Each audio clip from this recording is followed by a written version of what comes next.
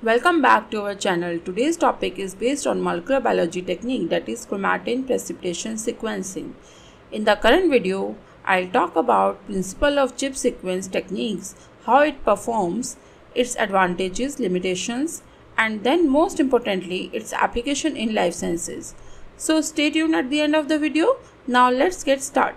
Chip sequencing or we can say chromatin immunoprecipitation sequencing is a cutting edge molecular biology technique which is used to investigate and analyze protein DNA interactions within the complex structure of chromatin.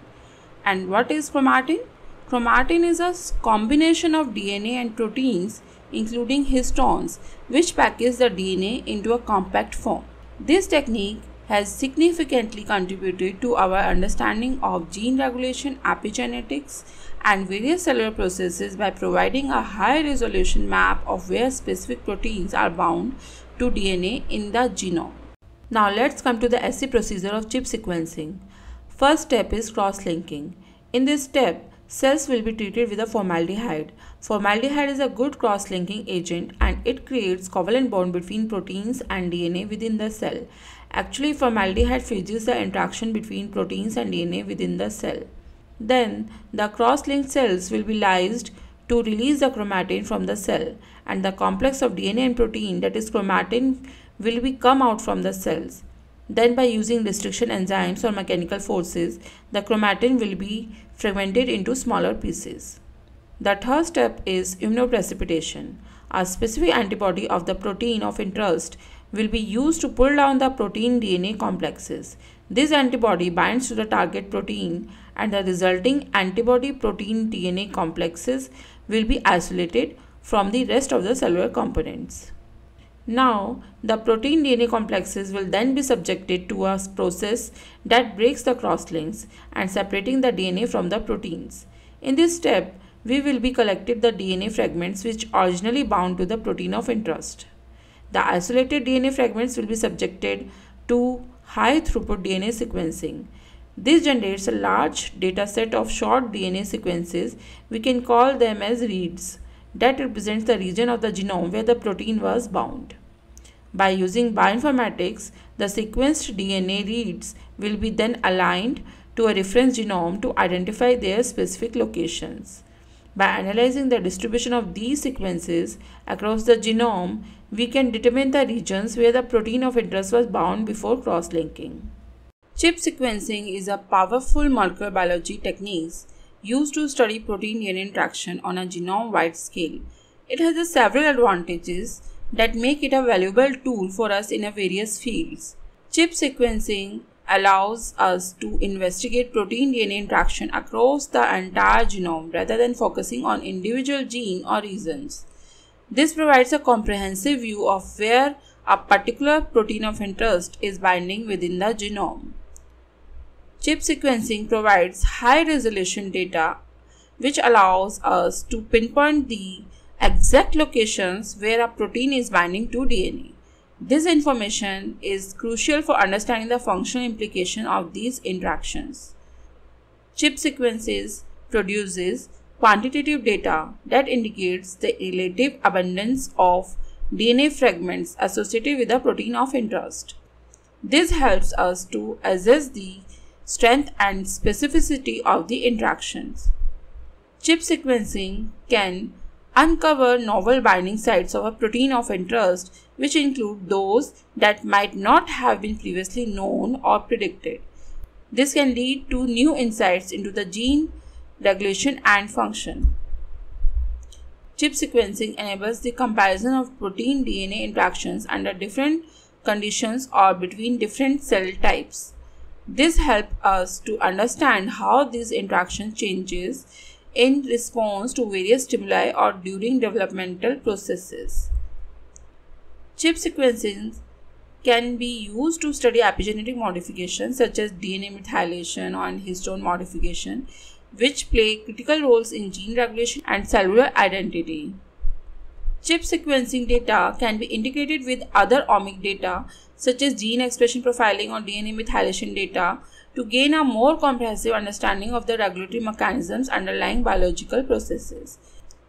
Chip sequencing allows us to test specific hypotheses regarding DNA protein interactions. For example, it can be used to validate predictions from computational analysis or to investigate the binding of protein to a specific DNA motif. Chip sequencing has less bias compared to previous techniques like chip-chip. It doesn't require pre-designed probes and making it more suitable for detecting unknown or unexpected binding sites. Chip sequencing requires less starting material compared to other techniques. Continuous advancement in sequencing technologies have improved the efficiency, sensitivity, and cost effectiveness of chip sequencing. Overall, chip sequencing provides a systematic and comprehensive approach to studying protein DNA interactions, gene regulation, and epigenetic mechanisms, enabling us to unravel complex biological processes and mechanisms. Besides all the advantages, chip sequencing has some limitations. Chip sequencing experiments can be sensitive to experimental variations such as differences in antibody specificity, cross-linking efficiency, and sample preparation techniques. These variations can introduce noise and affect the reproducibility of results. The success of chip sequencing heavily relies on the specificity of the antibodies used to pull down the protein of interest. Non-specific binding or antibody cross-reactivity can lead to inaccurate results. Cross-linking of protein to DNA is a crucial step in chip sequencing, but it can introduce artifacts and alter the natural protein DNA interactions. Suboptimal cross-linking can result in false positive or false negative binding signals. If the step of fragmenting the chromatin for not done properly, it can introduce bias. Overshearing or undershearing DNA fragments can affect the representation of binding sites and lead to inaccurate results. The quality and depth of chip sequencing results are highly dependent on the sequencing coverage. Low sequencing depth can result in missed binding events, while excessive coverage might not significantly improve results and can lead to waste of resources. Chip sequencing data analysis requires sophisticated bioinformatics tools and expertise. Poor data processing or incorrect analysis methods can lead to misleading interpretations. Chip sequencing data often contains a level of background noise due to non-specific binding and technical artifacts. Distinguishing true binding sites from noise can be challenging, especially in regions with low signal to noise ratios. Chip sequencing can identify binding sites, but it doesn't directly provide information about the functional consequences of these interactions.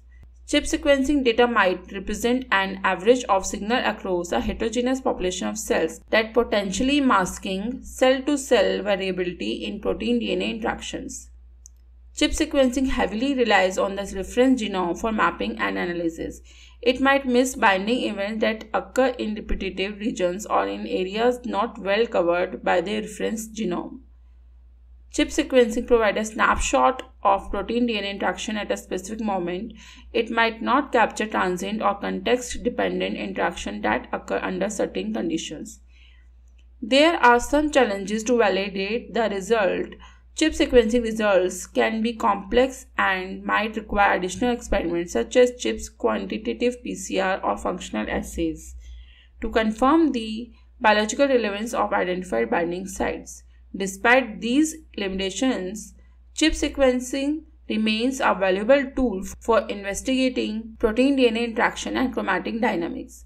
We should carefully design the experiment, use appropriate controls, and integrate chip sequencing data with other approaches to obtain a more comprehensive understanding of the biological processes. Now let's see their major application quickly. Chip sequencing is commonly used to map the binding sites of transcription factors. Transcription factors are proteins that regulate gene expression by binding to specific DNA sequences. By identifying transcription factor binding sites across the genome, we can unravel complex gene regulatory networks and understand how different transcription factors cooperate or compete to control gene expression. Chip sequencing allows us to map various histone modifications such as acetylation, methylation, and phosphorylation which play a critical role in shaping the epigenetic landscape. These modifications influence chromatin structure and gene expression, and their patterns can provide insights into cell differentiation, development, and disease states. Chip sequencing can be used to identify open and accessible chromatin regions, which reveals areas of the genome that are more likely to be active in gene transcription. This information aids in understanding the 3D organization of chromatin and how it influences gene expression. Beyond transcription factor, chip sequencing can be employed to study the interaction of various DNA binding proteins such as chromatin remodelers, insulator proteins, and RNA polymerase complexes. This sheds lights on the roles these proteins play in gene regulation and chromatin structure. Chip sequencing has been instrumental in uncovering epigenetic changes associated with diseases like cancer. We can compare chip sequence profile between normal and diseased cells to understand how aberrant epigenetic regulation contributes to disease development and progression.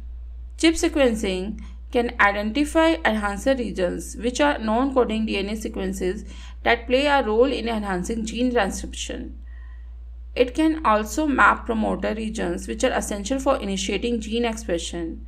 Understanding these regions and their interactions with regulatory proteins provides insights into gene regulation.